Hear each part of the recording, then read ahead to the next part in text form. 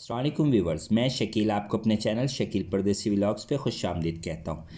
आज जो अपडेट मैं आपके साथ शेयर करूँगा, वो ये है। हज रजिस्ट्रेशन के दूसरे मरहले का आगाज़। रमी के लिए जमरात की तीन मंजिलें मखसूस की जाएँगी।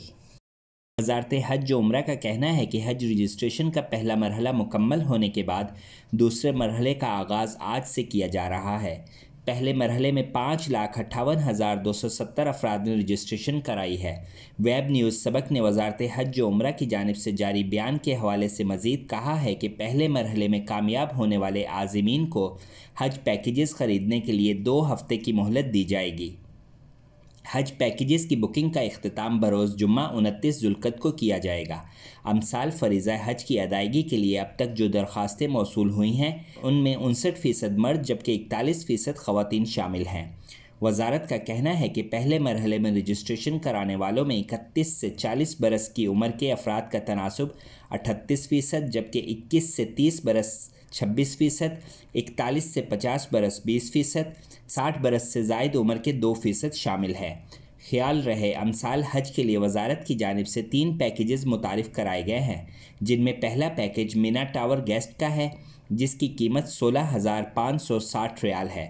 दूसरा पैकेज खैमों का है, जिसे गेस्ट अलिफ का नाम दिया गया है, जो चौदह हज़ार तीन सौ इक्यासी रियाल है, जबकि तीसरा पैकेज गेस्ट तीन है, इसकी कीमत बारह हज़ार एक सौ तेरह रियाल है। मजकूरा कीमतों में वैल्यू एडिड टैक्स शामिल नहीं है, जो कि पंद्रह फ़ीसद के हिसाब से अदा करना होगा। करोना वायरस की वजह से अमसाल ममलिकत के शहरीों और मुकीम गैर मुल्कियों को ही महदूद तादाद में हज की इजाज़त दी जा रही है।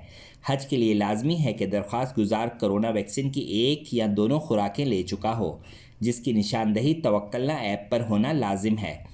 जबकि आज़मीन के लिए उम्र की हद 18 से पैंसठ बरस मुकर की गई है। के लिए जमारात की तीन मंजिलें मखसूस की जाएँगी। अमसाल हज में जमरात की तीन मंजिलें रमी के लिए मखसूस की जाएँगी। वेब न्यूज़ सबक ने अपने ज़राए के हवाले से कहा है कि हर मंजिल पर फ़ी घंटा पच्चीस सौ आज़मीन जाएँगे। वाज रहे, अमसाल करोना वायरस की वजह से अंदरून ममलिकत से ही सिर्फ़ साठ हज़ार सऊदी शहरी और मुकीमीन को हज की इजाज़त दी जा रही है। आज़मीन की रजिस्ट्रेशन के लिए वजारत हज ने खसूसी पोर्टल लॉन्च किया था, जिस पर हज करने के ख्वाहिशमंदों की जानब से इब्तदाई रजिस्ट्रेशन कराई जा चुकी है। इब्तदाई रजिस्ट्रेशन के बाद दूसरे मरहले में हज पैकेज ख़रीदने का आगाज़ होगा। ख्याल रहे अमसाल आज़मीन हज के लिए तीन पैकेजेस मुतारफ़ कराए गए हैं, जिनमें पहला पैकेज मीना टावर में रिहाइश का है, जबकि दूसरा और तीसरा खेमों का है। नाजिन इसके साथ ही अपने मेज़बान शकील को इजाज़त दीजिए, अपना और गिरदनवा में सबका ख्याल रखिएगा। अल्लाह हाफिज़।